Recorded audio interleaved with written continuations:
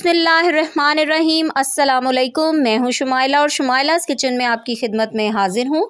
आप सबकी मोहब्बतों और दुआओं का नतीजा है कि आज शुमाइलास किचन को पूरा एक साल हो गया है। कुछ मसरूफियत के बायस कुछ दिनों से मैं अपने चैनल पर वीडियोस नहीं डाल पा रही हूँ।